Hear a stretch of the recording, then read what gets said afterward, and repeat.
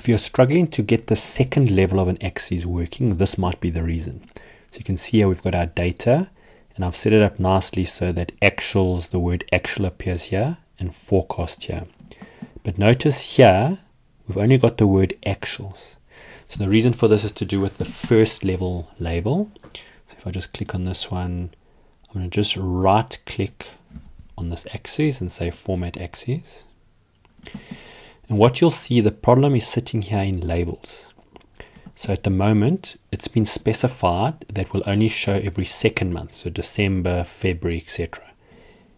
If I change that back to monthly, immediately you'll see it works better and immediately the forecast appears. Now you'll notice at the moment, the way it's set up, this one is in the middle of that period. This is at the beginning. So notice here, we've got another item saying multi-level category labels. When I click on it, it then moves it to merge it into and centers it over here.